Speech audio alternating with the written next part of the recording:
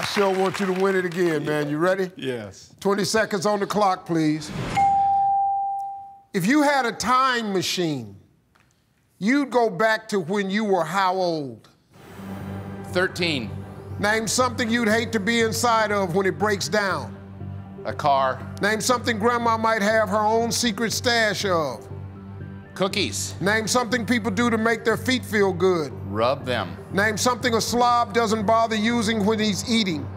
A, a napkin. My man. You got it, buddy. All right, here we go. If you had a time machine, you go back to when you were how old? You said 13. Survey said? Oh. Name something you'd hate to be inside of when it breaks down. You said car. Survey said?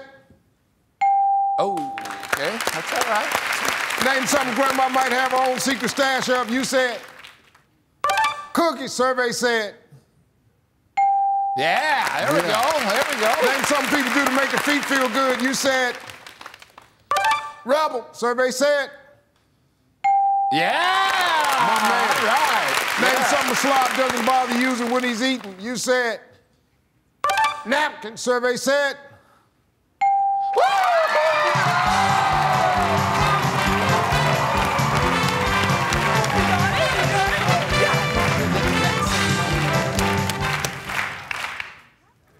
This is a moment. Okay. He got 160 Let's go. points.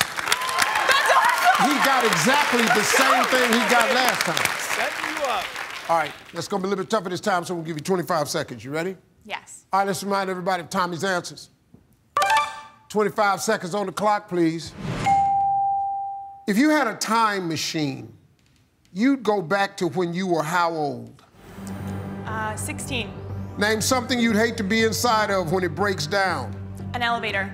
Name something grandma might have her own secret stash of. Candy. Try again. Um, pass. Name something people do to make their feet feel good. Massage him. Try again. Soak him in water. Name something a slob doesn't bother using when he's eating. Um, his hands. Name something grandma might have her own secret stash of. Food. All right, well, come on, we're okay. I feel good. We need 40 points for $20,000. If you had a time machine, you go back to when you were how old? You said 16. Survey said 18 years old was the number one answer. Okay. You get money? Name something you'd hate to be inside of when it breaks down. You said elevator. Survey said Yes. Airplane was the number one answer. We need eight points. Name something grandma might have her own secret stash of. You said Yeah. Move on. weed. Weed and meds was the number one answer. We need eight points for 20,000. Name something people do to make their feet feel good. You said soak them in water. Survey said oh.